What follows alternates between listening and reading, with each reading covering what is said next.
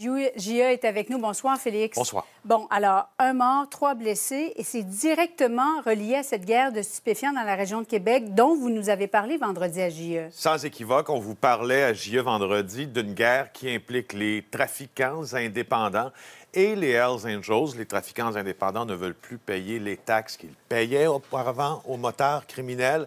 Et ils sont, euh, ces trafiquants-là, dirigés par un homme qui est appelé Dave Turmel, un jeune homme, je devrais dire, de 27 ans, qui est capable de mobiliser un gang d'indépendants qui se livrent à diverses exactions sur ses rivaux. Et là, il faut bien vous le dire, depuis ce matin, nous sommes en possession d'une vidéo euh, qui démontre à quel point ce conflit-là s'enlise dans la violence dans la région de la capitale nationale. Il s'agit d'une vidéo d'une brutalité inouïe, je dois vous le dire, Mm-hmm. euh, qui montre notamment un homme lié aux Hells Angels se faire trancher une oreille. Et c'est à la manière, confirment certaines sources policières, des cartels mexicains.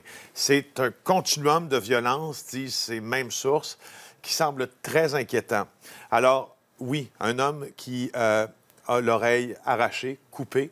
Euh, on vous passe certains détails, mais on va vous présenter l'extrait de ce qui se serait passé dans cette résidence de Saint-Malachie, bien que les policiers travaillent aussi sur l'hypothèse que ça pourrait venir d'une autre séance de torture impliquant les hommes de Dave Turmel.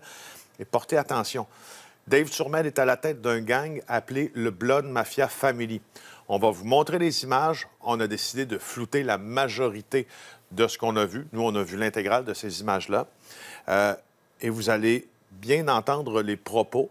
Ces gens-là du Blood Mafia Family incitent les trafiquants aux Hells Angels à aller travailler avec eux. On ne connaît pas la fin de l'histoire. On sait ce qui s'est passé lors de cette vidéo-là. Attention, les détails sont assez troublants. Des. C'est des salauds. Dis-moi que tu vas travailler pour BFM. Ouais, il y a bloc BFM, travailler pour BFM. Je te jure, gars. Je te jure. Correct, OK, c'est correct.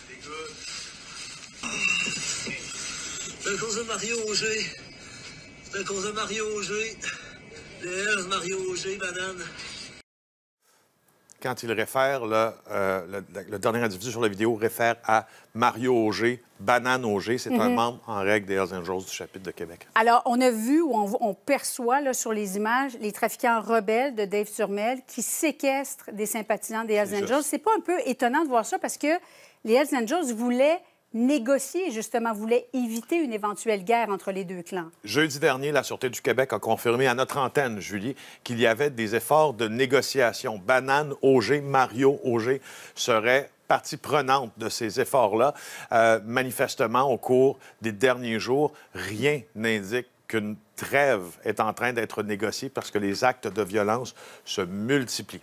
Et Dave Turmel, dans tout ça, toujours caché au Portugal. Dave Turmel euh, a même été rencontré au Portugal par certains individus criminalisés de la vieille capitale, mais il commande ses soldats de là-bas et ça laisse des traces énormes dans certains quartiers de la ville de Québec et maintenant euh, dans la région de Bellechasse, puis sur la rive sud aussi. merci Félix. Au revoir.